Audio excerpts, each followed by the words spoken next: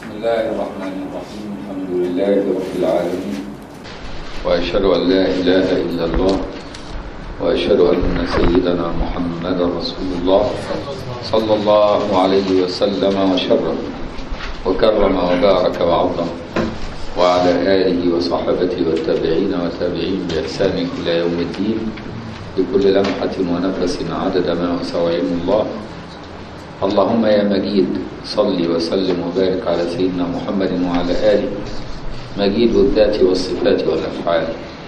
صلاة تورثنا بها مجدا ذاتيا برفع الهمة إليك ومجدا في صفاتنا بحسن الأخلاق ومجدا في أفعالنا بالتزام الأدب. لنقرب من جناب حضرة الحميد المجيد يا مجيب. اللهم يا باعث صل وسلم وبارك على سيدنا محمد وعلى آله الذي جعلته باعثا للوجود من حضرة العدم بقول وما أرسلناك إلا رحمة للعالمين. وباعثا للهداية في نفوس أهل الغواية بقول وإنك لتهدي إلى صراط مستقيم. وباعثا لأرزاق العباد حسا ومعنى بقول إنما أنا قاسم والله يعطي. صلاة تجعلنا باعثين لأنفسنا ولمن تعلق بنا إلى حضرة علام الغيوب بمجرد النظرة والإشارة بالحال والمقال. وتبعثنا على خير حالة يا باعث يا وهاب اللهم يا شهيد يا حاضر لا يغيب. صل وسلم وبارك على سيدنا محمد وعلى آله الذي كان لا يشهد إلا إياك وجعلته شهيدا على ما سواك. صلاة أشهدك بها في كل شيء حتى لا أجهلك في شيء. متحققا بوحدة الشهود للملك المعبود فأينما تولوا فثم وجه الله وكفى بالله شهيدا. اللهم يا حق يا مبين يا من يهدي للحق صل وسلم وبارك على سيدنا محمد وعلى آله الذي كان مظهرا للحق. فقذفت به على الباطل فدمغه فإذا هو زاهق. والذي قال جاء الحق وزهق الباطل إن الباطل كان زهوقا.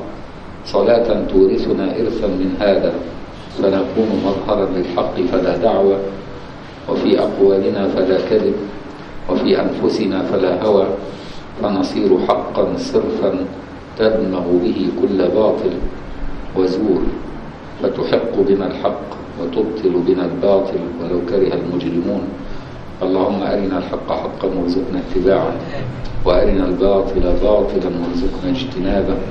واهدنا لما اختلف فيه من الحق بإذنك إنك تهدي من تشاء إلى صراط مستقيم. أما بعد نكمل قراءة وشرح كتاب بهجة النفوس وتحليها بمعرفة ما لها وما عليها. شرح مختصر صحيح البخاري. المسمى جمع النهاية في بدء الخير والغاية للإمام الحافظ المحدث الورع أبي محمد عبد الله بن أبي جمرة الأزدي الأندلسي المتوفى سنة 99 و600 من الهجرة النبوية الشريفة رحمه الله تعالى ونفعنا الله بعلومه وعلوم مشايخه وتلامذته وقراء سننه ومصنفاته وزواره في الدارين. آمين. الحديث الخامس والخمسين حديث صلاة النوافل قبل الفرائض وبعدها.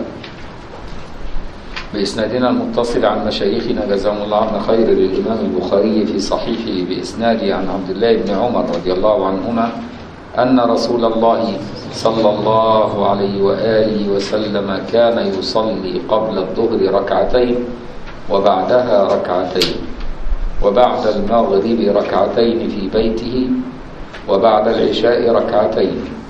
وكان لا يصلي بعد الجمعة حتى ينصرف فيصلي ركعتين. ظاهر الحديث يدل على ثلاثة أحكام. الأول الإخبار بركوعه عليه السلام قبل الظهر وبعدها. الثاني أنه عليه السلام كان لا يركع بعد المغرب في المسجد. وكان يركع في بيته بعدها ركعتين. الثالث أنه كان لا يركع في المسجد يوم الجمعة لا قبل ولا بعد وأنه عليه السلام كان يركع في بيته عند انصرافه منها ركعتين والكلام عليه من وجوه. الوجه الأول هذا الذي جاء عنه عليه الصلاة والسلام من صفة هذا التنفل. هل هو تعبد لا يعقل له معنى أو ذلك يعقل له معنى؟ ولم ترك الصبح والعصر لم يذكرهما وما الحكمة فيهما؟ فالجواب أما كون الصبح والعصر لم يذكر فقد ذكر في موضع آخر لأنه قد جاء لا صلاة بعد الفجر إلا ركعتي الفجر وقد جاءت فيهما أحاديث كثيرة وأنه عليه الصلاة والسلام كان يخففهما اللي هي سنة الفجر. سنة الصبح تكون قبلية وليست بعدية لأن بعد الصبح وقت كراهة. وقد ذكرت العلة في تخفيفها. وقد جاء أن العصر كان عليه السلام يركع قبلها ركعتين والأحاديث في ذلك أيضا كثيرة. وأما هل لتلك الصلاة معنى أو هي تعبد؟ فإن قلنا إن ذلك تعبد فلا بحث. هو تعبدي يعني من غير معلوم العلم. فإن قلنا إن ذلك تعبد فلا بحث. وإن قلنا إنه لحكمة فهي والله أعلم الإرشاد إلى الزيادة في الخدمة. كما قال عليه الصلاة والسلام لضمام حين قال له هل علي غير ذلك؟ لما قال له فرض الله عليك في اليوم خمس صلوات في اليوم والليل. فقال هل علي غيرهن؟ قال لا إلا أن تتطوع فقال لا إلا أن تتطوع. فكان ندبه عليه السلام إلى التطوع بالقول. جاء عمله عليه السلام هنا تحضيضا على ما ندب إليه بالقول. يعني جاء فعله مطابقا لحظه بالقول في التطوع. فإن عمله عليه السلام أبلغ في التعليم وتقعيد الأحكام بالفعل. أبلغ وإن كان القول كافيا كما هو معلوم من الشريعة غير ما موضع وهذا وجه حسن. الوجه الثاني فيه من الفقه أن كل ما ما يأمر المرء به غيره ويرغبه فيه من أفعال البر ينبغي له أن يفعله هو. يعني لما تؤمر الناس بشيء لابد أنك أنت تكون فاعل أنت هذا الشيء. عشان يكون كلامك له أثر. لأن عار عليك أن تأمر بما لا تفعل. وربنا سبحانه وتعالى عاب علينا ذلك. أتقولون ما لا تفعلون؟ كبر مقتا عند الله أن تقولوا ما لا تفعلون. ولذا كان النبي إذا أمر بشيء كان يكون هو أول الملتزمين به صلى الله عليه وآله وسلم.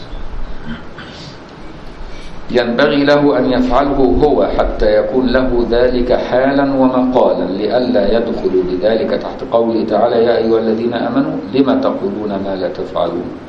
كبر مقتا عند الله أن تقولوا ما لا تفعلون. وربنا سبحانه عاب على اليهود قال لهم أتأمرون الناس بالبر وتنسون أنفسكم وأنتم تتلون الكتاب أفلا تعقلون؟ عاب على اليهود ذلك. ولذلك قال بعض من نسب إلى الحال سيعلم صاحب فقه الك... سيعلم صاحب فقه الكلام وصاحب فقه الحال عند هبوب رياح القيامة وانجلاء غمام الدنيا من فارس الميدان منهما. يعني يوم القيامة هيبان مين اللي هو بتاع كلام ومين اللي هو بتاع عمل؟ ففي ناس بتتكلم كلام كتير وتبص لعمله وتلاقيه قليل.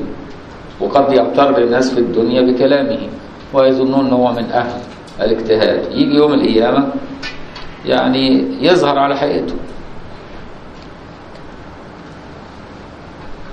وإذا نظرنا لجموع عددها زاد لنا معنى مع ذلك وهو معنى لطيف وهو من شيم يعني مجموع عدد الصلوات اللي النبي سنها مع ما فرض عليه. هو أول ما فرضت عليه مش خمسين صلاة؟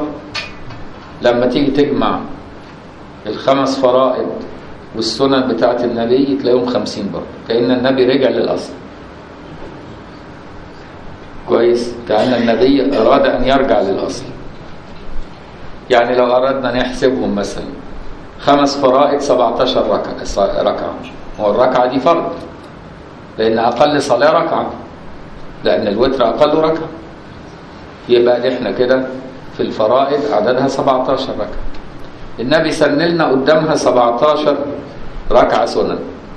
يبقى كام؟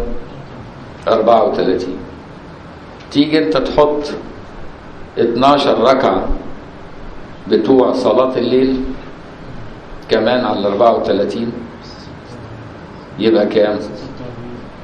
يطلع 46 حط معاهم أربع ركعات ضحى يبقى الخمسين يبقى الحكاية هي هي. رجعنا للخمسين تاني. يبقى النبي صلى الله عليه وسلم أراد أن يعلم أمته ألا يرد حكم الله الأول. إنه فرض علينا خمسين صلاة. كأنها خمسين ركعة. النبي فهمها إيه؟ خمسين ركعة. فربنا سبحانه وتعالى لما خفف على الناس الفرضية أراد النبي أن يزيدهم سننا حتى يصل إلى الإيه؟ العدد الأول الذي به تتم الرحمة. واخد بالك؟ هي دي المسألة. ممكن نعدهم بطريقة تانية.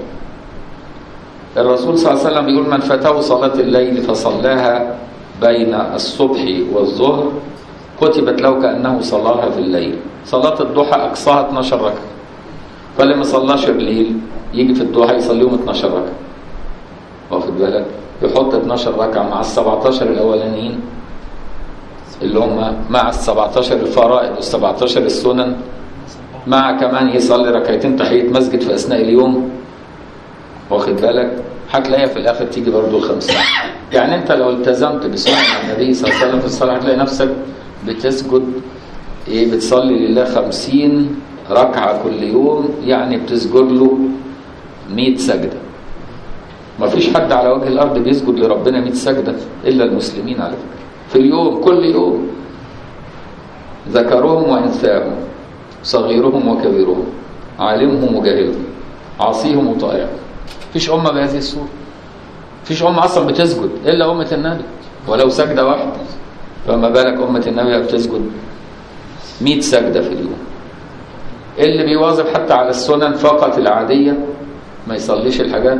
أو بيسجد إيه كام؟ 34 سجدة في اتنين بإيه؟ ب 68 سجدة. طبعا ما بيصليش السنن خالص بيصلي الفرائض بيسجد لله 34 سجدة اللي هي 17 ركعة فريضة. يعني أقل مسلم في الاجتهاد بيسجد لله كل يوم 34 سجدة اللي هي 17 فريضة ركعة فريضة. ركعتين الصبح أربع ركعات عصر أربع ركعات ظهر وعصر وعشاء. أربعة في ثلاثة بكام؟ ب 12 واثنين يبقى 14 وثلاثة مغرب؟ 17 يبقى إحنا أقل مسلم اللي هو بيعمل فرائض بس وما بيعملش أي سنة هيسجد لربنا 34 سجدة في اليوم. فما فيش أمة بهذه الصورة.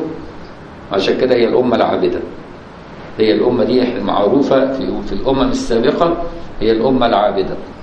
الأمم السابقة فرض عليهم الصلاة مرتين في اليوم بس وبعد صلواتهم كانت بلا سجود. حتى يقول لها اركعي مع الراكعين. ما قالش اسجدي. فيبدو إن ما كانش عندهم سجود أو عندهم سجدة واحدة في اليوم. لكن شوف إحنا كل ركعة سجدتين كل ركعة سجدتين الشريف والوضيع بيسجدها الرئيس والمرؤوس يسجدها ما فيش حد مستثنى فيه. العالم والجاهل يسجدها والصغير والكبير يسجدها والمرأة والرجل يسجدها.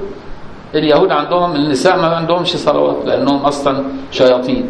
اليهود في اعتقادهم كده النساء دول شياطين. اللي يسجد الرجالة بس واللي يعبد الرجالة بس. يعني دين رجالي. يعني ربنا ده رب رجالة أمال النساء إيه عند اليهود؟ النساء دول أصلا حباء للشيطان. كل ما تبعد عنهم يبقى احسن البعد عنهم غنيمة. لكن شوف إحنا عندنا المسلمين النساء شقائق الرجال في الأحكام. ويبقى عندنا أولياء كبار من النساء مذكورين في التاريخ وفي كل عصر. يبقى عندنا إحنا رحمة دين كله رحمة.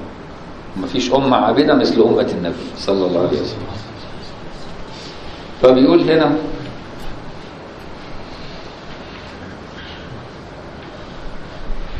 وإذا نظرنا لجموع عددها زاد لنا معنى مع ذلك وهو معنى لطيف وهو من شيم أهل الهمم.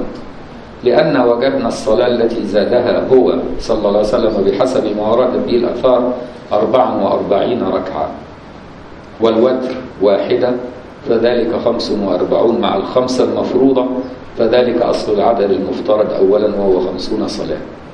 وطلب أولا صلى الله عليه وسلم التخفيف شفقة عليهم وأخذ هو صلى الله عليه وسلم في حق نفسه المكرمة بالعمل على التوفية والكمال حتى يحصل له الثبوت في قدم قوله عز وجل الذي وفى. مش قال إبراهيم الذي وفى؟ وسيدنا إبراهيم بالنسبة للنبي تابع. يبقى سيدنا محمد من باب أولى. واضح؟ وكقول موسى عليه السلام أيما الأجلين قضيت فلا عدوان عليه ثم أنه أكمل أبعد الأجلين. لأن الأنبياء والرسل صلوات الله عليهم أجمعين هم أهل الهمم السنية وكيف لا وهم خير الخير الخيرة من البرية. فنحتاج إذا أن نسمي تلك الأربع والأربعين وهم ركعة الفجر والضحى على ما انتهت الأخبار عنه صلى الله عليه وسلم أنها اثنتا عشرة ركعة. وعند الزوال بقدر ما كان ينهى عن الصلاة في ذلك الوقت ثم رجع السلام فصلى فيه أربعا على غلبة الظن في تيقن العدد. وقبل الظهر ركعتين وبعدها ركعتين وقبل العصر ركعتين وبعد المغرب ركعتين وتحية المسجد ركعتين وبعد العشاء ركعتين. وإن كانت الصلاة التي عند استواء الشمس ركعتين فيكون تمام الأربع والأربعين ما روته عائشة رضي الله عنها أنه عليه السلام كان يصلي على فراشه ركعتين وحينئذ ينام صلى الله عليه وسلم أو قيام الليل 12 ركعة والوتر واحدة لأنه ينطلق على كل ركعة صلاة. بدليل قوله عليه السلام إن الله زادكم صلاة إلى صلاتكم ألا وهي الوتر. فقد سمى عليه السلام الواحدة صلاة. ويظهر فيه من الحكمة أن المولى سبحانه هو طبعا عدها لك بطريقة غير اللي أنا عدتها لك لكن أنا عدتها لك بطريقة أسهل. واخد بالك؟ هو عدها لك بطريقة فيها نوع من الالتفات يعني. لكن أنا عدتها لك بطريقة أسهل. ويظهر فيه من الحكمة أن المولى سبحانه لما نقص من العدد واحدة زادها هو جل جلاله ليكمل الفضل بفضله على سيدنا صلى الله عليه وسلم وعلى أمته جعلنا الله من صالحيها في الدارين بمنه. فكما نقص العدد منها أولا تفضلا وتخفيفا أكمله أجرا تفضلا وإكمالا. وهنا بحث لطيف وهو أنه لما جعلت هذه الأمة شهداء على الأمم. بمقتضى قوله عز وجل في كتابه وكذلك جعلناكم أمة وسطا أي خيارا لتكونوا شهداء على الناس ويكون الرسول عليكم شهيدا. وقد كان من كلام موسى عليه السلام لسيدنا صلى الله عليه وسلم إني عالجت بني إسرائيل أشد المعالجة وإن أمتك لا تطيق ذلك فتفضل المولى جل جلاله بأن وفق هذا السيد صلى الله عليه وآله وسلم للكمال في إكمال العدد المطلوب أولا حتى يكون تزكية في الشهود. فإن من شرط الشهادة التزكية والعدالة. فبانت تزكية هذه الأمة بفضل الله تعالى ولم يتركها سيدنا صلى الله عليه وسلم مع ضعفها حتى تكون عدالتهم ظاهرة من أجل تحقيق الأحكام. ثم لم يقتصر هو صلى الله عليه وسلم على ذلك ليس إلا لأنه عليه السلام ترك لنا بابين إلى الزيادة مفتوحين. الواحد بقول عليه السلام رحم الله عبدا صلى أربعا قبل أربع. يعني ما اكتفاش إن الظهر قبل اثنين. ده حسنا إننا نصلي قبل الظهر أربعة كمان في أحاديث ثانية إنه من صلى اربعا قبل الظهر واربعا بعد العصر. فقد إيه حرم جسده على النار. فورد كمان الزيادة. رحم الله عبدا صلى أربعا قبل أربع وصلى أربعا بعد أربع. يعني أربعة قبل الظهر اللي هي الأربعة الفريضة يصلي أربعة قبلها سنة ويصلي بعدها أربعة فريضة أربعة سنة أيضا. ومن صلى بين العشاءين اثنتي عشرة ركعة اللي بيسموها صلاة الأوابين اللي هي بين المغرب والعشاء. ركعتين ركعتين ركعتين ركعتين في قالوا ستة وناس قالوا 12 على خلاف. يعني يشغل وقت بين المغرب والعشاء صلوات صلوات ركعتين اثنين اثنين اثنين على ما يخلصهم إلى العشاء الدنيا. كل دي سنن وفضائل الانسان يواظب عليه لو ما يقدرش يقوم يقيم الليل. لأن في ناس بيحط دماغه بعد العشاء ما يفتحش عينه إلا على الفجر. ويمكن يفتحها بعد ما الشمس تطلع. فاللي هو عارف عادته كده يبقى يلحق نفسه وهو صاحي يعوض اللي بيفوت وهو نايم. ومن صلى بين العشاءين اثنتي عشرة ركعة بنى الله له قصرا في الجنة. وما أشبه ذلك من الأحاديث التي جاءت في مثل هذا المعنى وهي كثيرة. والباب الثاني اللي فتحه لنا إشارته عليه السلام إلى تمام التزكية في باقي الأقوال والأفعال بقول عليه السلام من لم تنهه صلاته عن الفحشاء والمنكر لم يزدد من الله إلا بعدا فبالله عليك يا أخ الشبهات والشهوات انتبه لنفسك يسيرا ولا تحرمها هذا المقام الرفيع الجليل وتقمها مقام الذل والتعنيد فإن من اتبع شهوته ذهبت مروءته وشان دينه ومن كان بهذه الصفة ضاع عمله وكانت النار أولى به اللي هي نار إيه؟ نار التزكية لأن هو ما زكاش نفسه في الدنيا. فيقوم لما يجي يقابل ربه يلاقوا لسه مش مزكي. يقوم ربنا يدخله نار التزكية عشان يجعله مؤهلا لأن يدخل الجنة. فاللي يلحق نفسه بدري بدري بدل ما يحتاج يعدي على النار في الآخرة وقد قال صلى الله عليه وسلم لو صمتم حتى تكونوا كالأوتار وقمتم حتى تكونوا كالحنايا ولم يكن لكم ورع حاجز لم يمنعكم ذلك من النار. يعني لابد مع العبادة والاجتهاد فيها الورع. مش قاعد يعبد طول النهار واللي يجي له يشتمه ولما يجي له مال ياكله ولو من حرام. وقلبه كله حقد وحسد على الناس. مش هيستفيد بحاجة. لازم يبقى عنده نوع من الورع. إيه هو الورع؟ الورع هو أن يأخذ من الحلال قدر الحاجة وأن يتجنب ويتجنب إيه؟ الشبهات. أي حاجة فيها شبهة ملوش دعوة بيه اللي مشايخنا ربونا عليه يقول لك الخروج من الخلاف مستحب. كانوا يقولوا لنا كده. يا ابني الخروج من الخلاف مستحب. كنا نقعد ندرس الفقه المقارن على مشايخنا. فتلاقي ان إن في, في الآخر بعد ما تقرا الفقه المقارن على المذاهب الكتيرة الأربعة المشهورة وغير المشهورة تجد إن لا يخلو عمل من الأعمال إلا وفي مذهب قال فاللي ما عندوش بقى ورع ويقرأ الفقه المقارن يتعلم التسيب يقول لك ما كله ينفع. فهمت بقى؟ كانوا بقى مشايخنا يقولوا لنا إيه؟ اقرأ الفقه المقارن والخروج من الخلاف مستحب. يبقى أنت بتدرسه مش عشان تتنطع في الآراء الضعيفة. لا ده أنت بتدرسه عشان تعمل عبادة صالحة على كل المذاهب دي. فهمت؟ ادي معنى الورع بقى لأن في ناس بتدخل الباب العلم علشان يتعلم إيش؟ الرخص في كل مسألة عشان إيه؟ ياخد الرخص في كل مسألة. أهل التصوف أهل الهمم العالية مش أهل الرخص. الرخص دي ياخدوها يعني في النادر في حياتهم. لما يكبر قوي يعجز. لما يكون تعبان قوي لما يبقى مريض قوي لما يكون مسافر سفر مرهق ياخد الرخص انما غالب حياته هم من أهل الهمم العاليه والنبي كان غالب حياته كده أهل همه عاليه الرخص دي كان ياخدها في سفر وبعد السفر كمان مش كل السفر ده أحيان كتيرة كان يصوم في السفر صلى الله عليه وسلم. وكان لا يترك سننه حتى في السفر. ويقضي سفره يصلي على دبته وهو مسافر صلى الله عليه وسلم. يبقى النبي هو الذي إيه يعني كان إمام أهل الهمم العالية صلى الله عليه وسلم.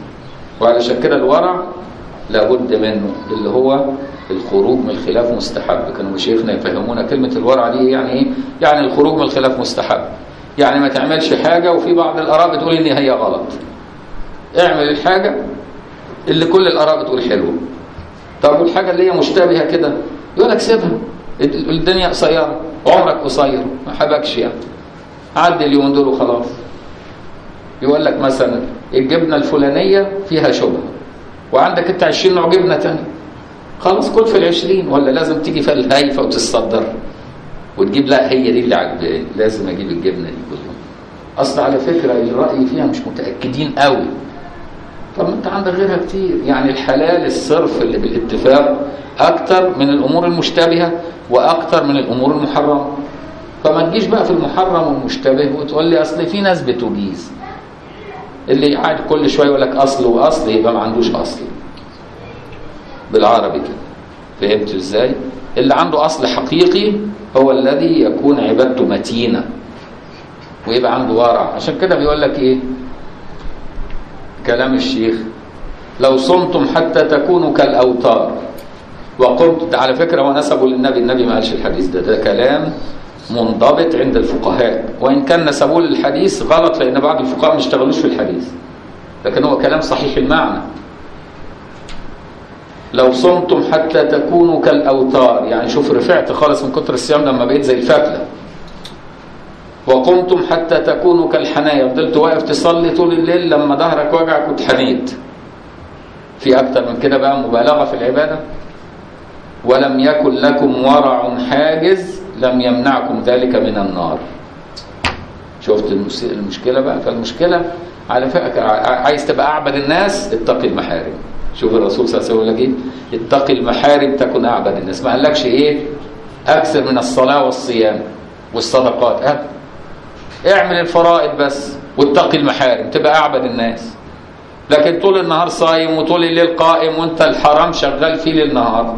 وعايش في أرض مغصوبة ولابس ثوب من حرام تبقى تبقى فين ولا عابد ولا حاجة دي مناظر. ده أنت بتعبد لنفسك عشان تقنع نفسك قدام نفسك. إنك أنت هو راجل عابد أهو تقوم تستوعب الحرام وتاخده وتقول له ما يجراش حاجة ما إحنا عباد. يبقى أنت بتعبد لنفسك مش بتعبد لربك. اتقي المحارم تكن أعبد الناس. ما قالش ما قالوش صلي كتير تكن أعبد الناس. ما قالوش صوم كتير تكن اعبد الناس ما قالوش اختم القرآن كل ثلاث أيام ولا كل أسبوع زي ما بنعمل إحنا. تبقى اعبد الناس ابدا اقرأ يا سيدي الفاتحة بس واركع ما تقراش معاها سوره صلاتك صحيحة. لكن ما تعملش محرمات لا تقع في المش... المسكن فتكن أعبد الناس إزاي باتقاء المحارم.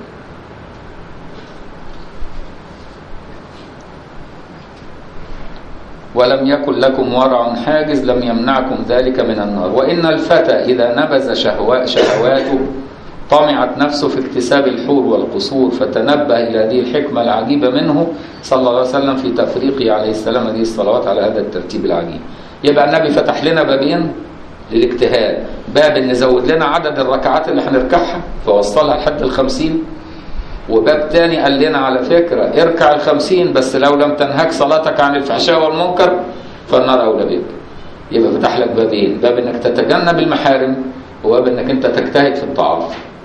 مش تجتهد في الطاعة وما تتجنبش المحارم. فهمت بقى؟ يبقى فتح لك هذين البابين الهامين اللي بهما. تتم التزكية في الدنيا فإذا مت تجد النار ملهاش نصيب فيك. ده بالعكس ده لو رموك في النار هتحولها الجنة لأن خلاص ملهاش نصيب فيك. أنت أصلا نقيت نفسك. لأنه الإنسان الذي بلا معصية لو ألقي في النار لكانت عليه بردا وسلاما. لأن لا يحرقه في النار إلا مساوئ عمله. لأنه خد بالك ذوقوا ما كنتم تعملون. يعني لو ما عملش معاصي مش هيجد ما يذوقه. فهمت بقى المسألة؟ يبقى على قدر ما تتجنب المعاصي على قدر ما ت... لا تمسك النار ولا تؤذيك النار ولو ألقيت فيها فهمت المسألة دي نقطة هامة.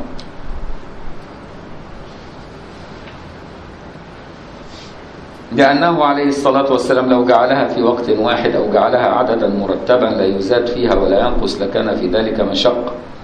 يعني لو قال لك النبي صلي خمسين ركعة كل يوم وسابك من غير ما يقسمها لك على مدى اليوم كنت تصعب عليك.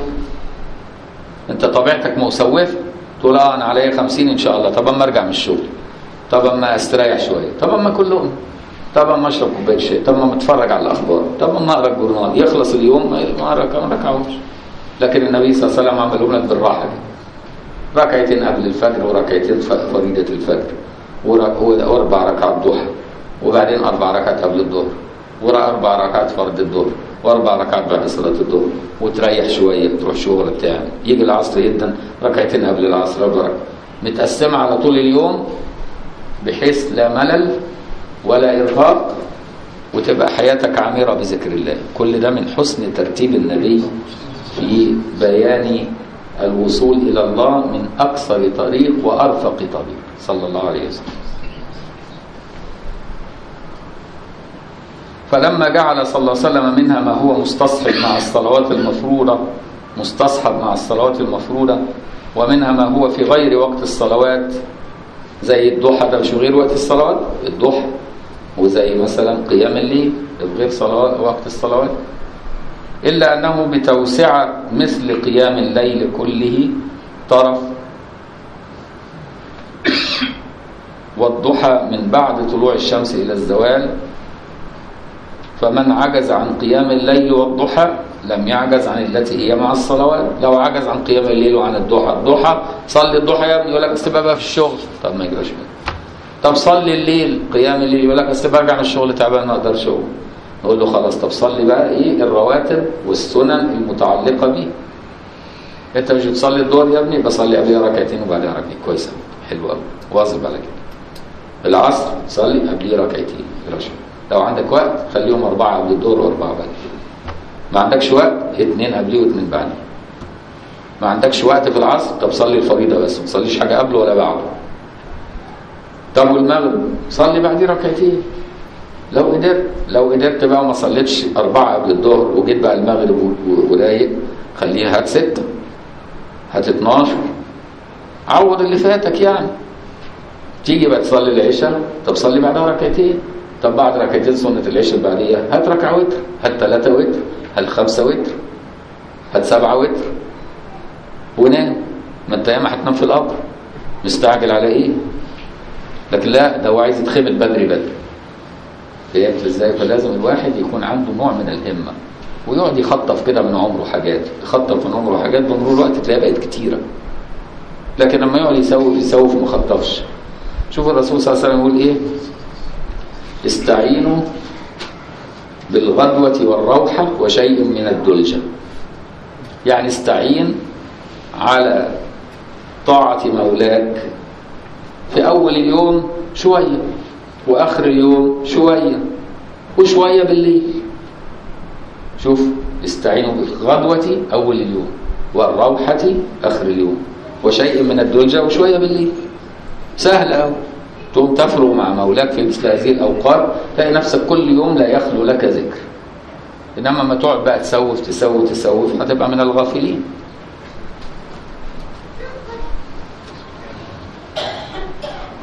فإن عجز عن قيام الليل والضحى لم يعجز عن التي هي مع الصلوات كما تقدم فكانت خفيفة على الناس حتى قل ما يكون من مصلي يصلي فريضة ولا يتنفل قبلها ولا بعدها. وإن كانت فيكون في حكم النادر الذي لا حكم له. فانظر إلى هذه الإشارة اللطيفة. لما طلب منا أولا خمسين ثم ثبت الفرد على خمس في الأصل خمسا ووفاء الكمال خمسين فما نقص من الأصل الذي ثبت بالحكم الحد وهو خمس.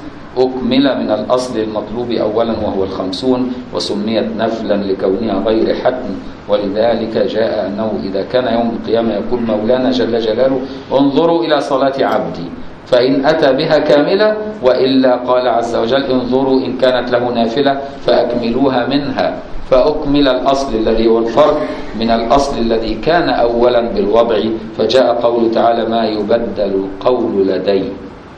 وبقي بحثان أحدهما لما كان عليه السلام لا يصلي بعد المغرب إلا في بيته. كان النبي يحب يصلي سنة المغرب في بيته. شفق على الناس لأنه لو النبي قعد في المسجد صلى المغرب الفريضة وقعد ختم الصلاة وقام صلى سنة المغرب في المسجد. الناس هتستحي تسيب المسجد والنبي لسه قاعد. تصور انت بقى انت النبي بيصلي وانت بتصلي. هتمشي والنبي طول ما قاعد؟ والله ولا امشي ولا اتحرك. ده أنا هفضل لابد كده. لكن النبي شفقة على أمته بعد المغرب في ناس صايمين وناس جايين من عملهم وناس جعانين وناس تعبانين. يوم النبي يخلص الفريضة ويدخل حجرته عشان ندي فرصة للصائم يروح ياكل وللتعبان يستريح شوية واللي جاي من عمله يغير ملابسه ويستعد لصلاة العشاء. يبقى دي كلها شفقة. لكن إحنا لما زالت هذه العلة لأن انت وانت في الجامع يمكن الناس إيه تسيب الجامع طول ما انت في الجامع خلاص صلي في الجامع بقى ما تفرقش. يعني انت مش هيبقى في ارهاق على الناس لو صليت انت في الجامع. لأن تغيرت الايه؟ العلة. لكن العلة مع النبي كانت موجودة. النبي كان ينظر للشفقه على أمته صلى الله عليه وسلم. زي برضه في الجمعة. كان الصحابة يوم الجمعة يصلوا الفجر وعشان يبكروا الجمعة ما يناموش شوية. يفضلوا قاعدين لحد الشروق يصلوا الضحى يروحوا يغتسلوا يرجعوا على طول يمكن ما يفطروش. يروحوا على المسجد يقعدوا يصلوا الجمعة. طبعا يخلصوا صلاة الجمعة من هنا مرهقين تعبانين اللي عايز ياكل واللي عايز ينام واللي عايز يستريح شوية. حتى إن قائلة الضحى كانت ياخدوها يوم الجمعة بعد صلاة الجمعة. يوم النبي لما يصلي الجمعة يعمل إيه؟ يروح على بيته. يصلي السنة هناك عشان يدي فرصة للناس اللي تعبانين وبكروا وجم بدري وعملوا وعملوا يروحوا بيتهم يستريحوا. شوف شفقة النبي وامته إزاي ورحمة النبي على امته إزاي كل دي علل لطيفة تبين لك كمال شفقة النبي على هذه الأمة وإحساسه بالناس إن هو حاسس بيهم مش حاسس بنفسه. لا حاسس بيهم. هو نفسه بالنسبة له كان لا يتعب من الصلاة بل قرة عينه في الصلاة. صلى الله عليه وسلم. لكن هو كان لا يعامل الناس بنفسه يعامل الناس بضعفهم. لا بانشراح صدره هو مع مولاه. لأن لو هو على نفسه النبي صلى الله عليه وسلم يبيت عند ربه ويطعمه ويسقيه كان لما يقف يصلي لا يتعب. ليه؟ لأنه ينسى نفسه بإيه؟ بذكر مولاه. درجة كان ساعات يقيم في ركعة واحدة يجيب له ربع القرآن في ركعة واحدة. وانت لما بنقرأ مثلا حزب في ركعة واحدة بتقعد تتململ وترفع رجل وتنزل رجل. وتعمل وتقول يا رب ويمكن هتدعي على الإمام واخد بالك؟ ان يطب ساكت ونستريح لكن شوف النبي حالة ثانية بالرغم من كده ما كانش يعاملنا بحاله هو صلى الله عليه وسلم. هي شفقة عليه صلى الله عليه وسلم.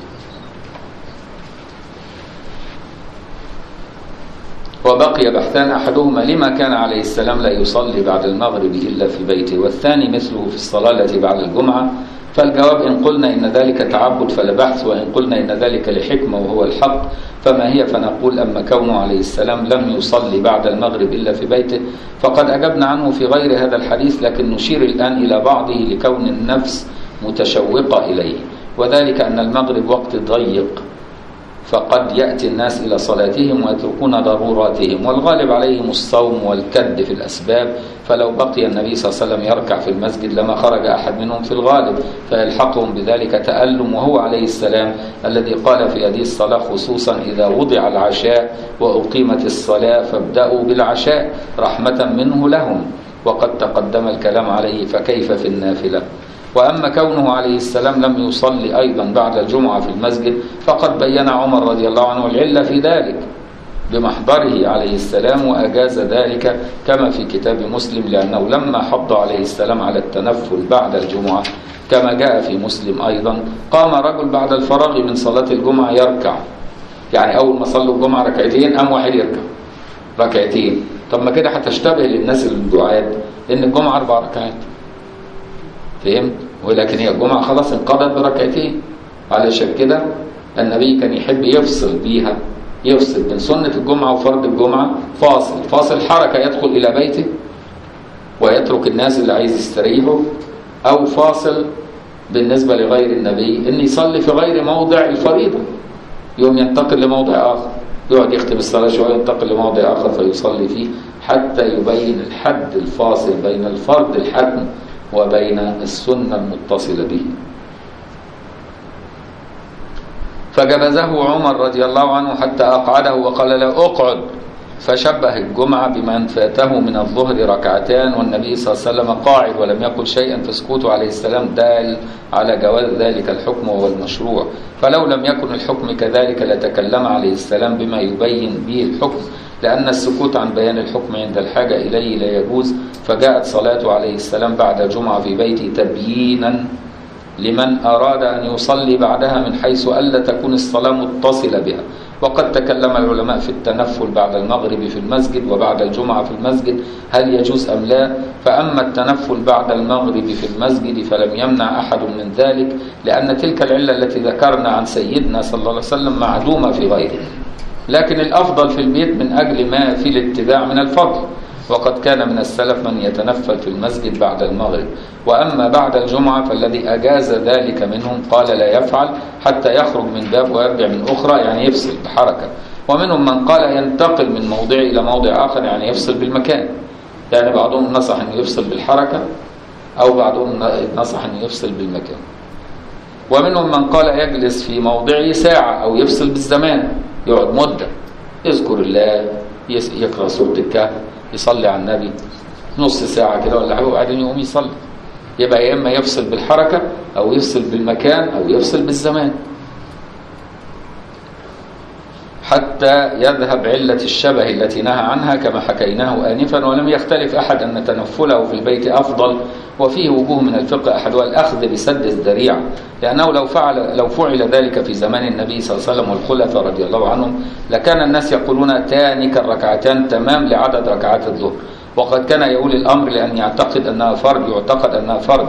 أما ترى أن بعض العلماء يقول في الخطبة أنها بدل من الركعتين وأن من فاتته الخطبة لا تجزئه الجمعة ويصلي ظهرا أربعا وهذا بعيد محض أين نسبة الخطبة من الصلاة؟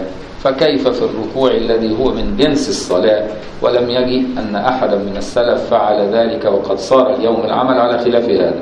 وهو ما يفعله الناس بالديار المصرية وغيرها ممن حدا حدوهم من التزامهم الركوع إثر صلاة الجمعة متصلا بها. يبدو إن كان في زمانه الناس إيه أول ما يسلموا في صلاة الجمعة كل واحد يقوم مكانه يصلي على طول إيه ركعتين بعدها. فهو كان مش عاجبه الحكاية واخد بالك؟